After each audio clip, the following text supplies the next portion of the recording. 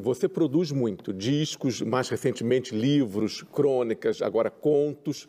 Então, e no entanto, você deu uma declaração para o G1 em 2012 dizendo que fazer música é cansativo, é doloroso. Então, eu queria saber, o processo de criação, que para você ele é, parece ser contínuo, ele, ele é sofrido para você no dia a dia? Mauro, mas é muito. É, porque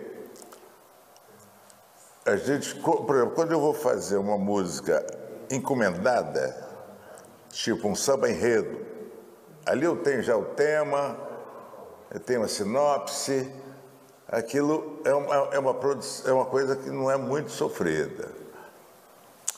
Mas mesmo assim,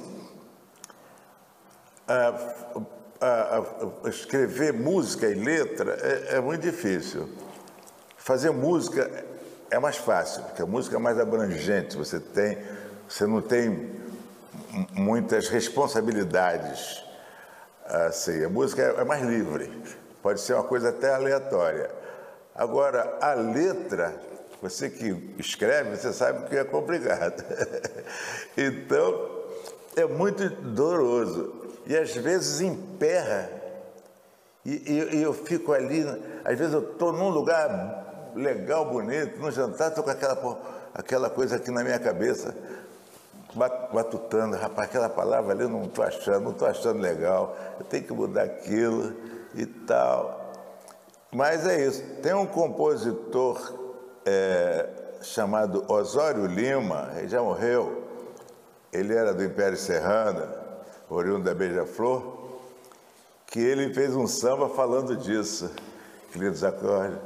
Eu, eu esqueci o nome, mas eu, também você até conheça. É, música quando estou inspirado, eu não tomo conta de mim. Não sei se outros autores se sentem assim. Essa via de artista conseguiu me dominar. Esse peito de poeta não me deixa sossegar. E parece que ouço uma orquestra tocando. Vai por aí. Maravilhoso. É uma, é uma torturinha, assim. Torturinha. E, e o pior é quando você fechar é que é o problema, fazer a música. Essa música eu lancei, a Era de Aquários, eu fiz há um tempo atrás. Comecei a fazê-la lá há uns anos, nem me lembro quando. E a ideia, a inicial era eu, quando Era de Aquários chegar, o que, que eu vou fazer? Era isso. Eu falei, o que, que eu vou fazer quando Era de Aquários chegar? Aí eu emperrou por ali e tal.